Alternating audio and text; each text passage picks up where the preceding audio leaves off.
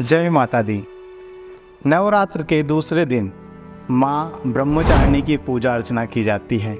साधक इस दिन अपने मन को माँ के चरणों में लगाते हैं। ब्रह्म का अर्थ है तपस्या और चारणी का अर्थ है आचरण करने वाली। इस प्रकार ब्रह्मचारिणी का अर्थ हुआ तप का आचरण करने वाली।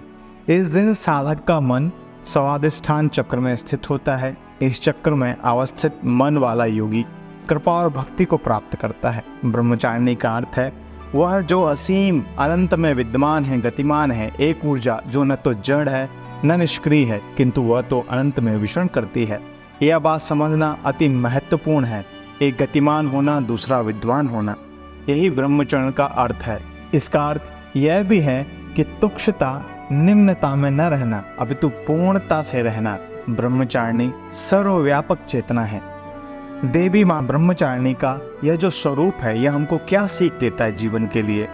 माँ ब्रह्मचारिणी अनुशासन का प्रतीक है।